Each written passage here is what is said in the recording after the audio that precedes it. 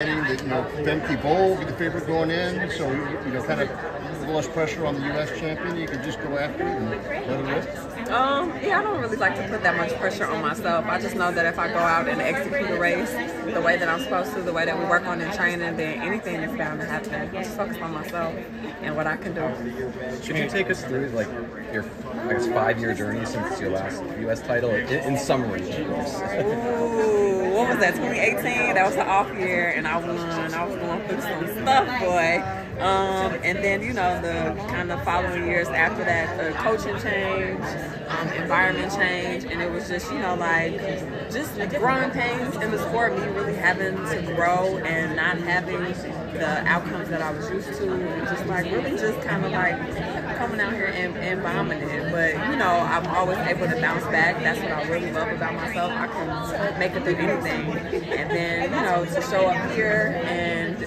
just put together everything that I've been through, every win, every loss, every lesson, and just put it together and put it on the line for this very moment. It just feels amazing. You run a lot of flat 400s. How has that helped you? Um, it's just fun. I mean, at the end of the day, 400 hurdles, 400 is still 400 meters.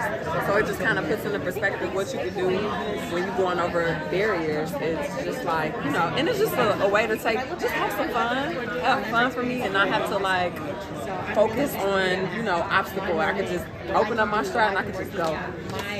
That's that confidence to think of a medal at the Budapest World Championships. Like, where does that come from? The confidence, the confidence, the confidence comes from just knowing and remembering who I am, knowing you know nobody works harder than me, how I train, um, just the work that I put in on the daily, on the track and off the track. That's kind of like it's just building the confidence and then thinking back to you know winning medals when I'm 22 years old, don't know what I'm doing, and I'm on that podium, and it's just like okay, I can get on that podium like that.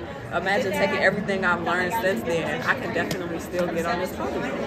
Similar to that point, I mean, obviously, 2014 here you know, so many big special things, and now we're nine years later, and it's like Shamier's little, Shamier Little still, you know, there at the, at the, at the top. I mean, like, what, what is that longevity? What is that legacy?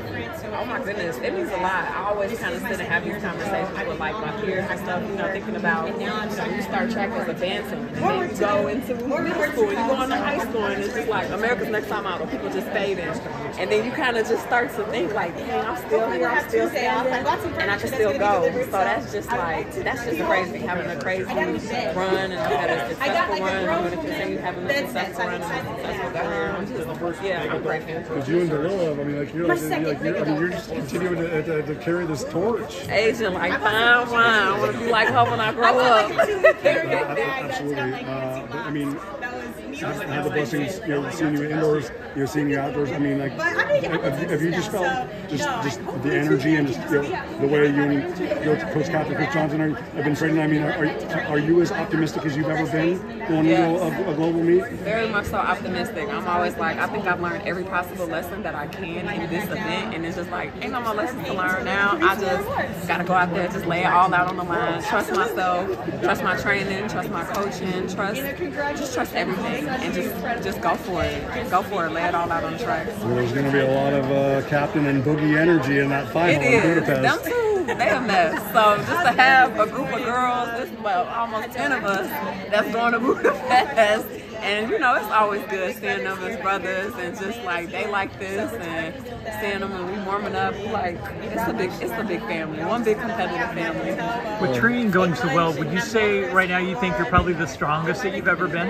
Oh, for sure. For sure. Definitely the strongest. These repeat 400s is, listen, some hair on my chest. So, yeah, I'm the strongest I've ever been, the fastest, the most confident, the most intentional, the most focused I've ever been. And listen, I'm ready. What's the conversations like? Tia got second, Britton got second, you got first. Are y'all talking about behind the scenes? Oh goodness.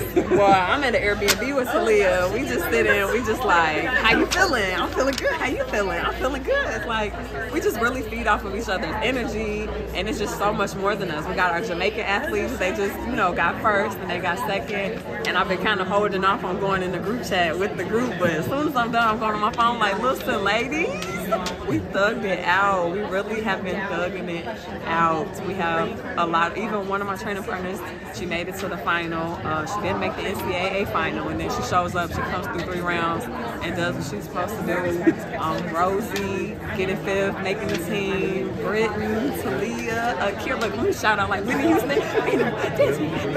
no, but um, yeah, those conversations. I'm sure once we get back home and we see each other, we're gonna have a fit because we have been all just like in each other's faces ever since the NCAA, ever since just forever. I'm, I'm excited to get back to them.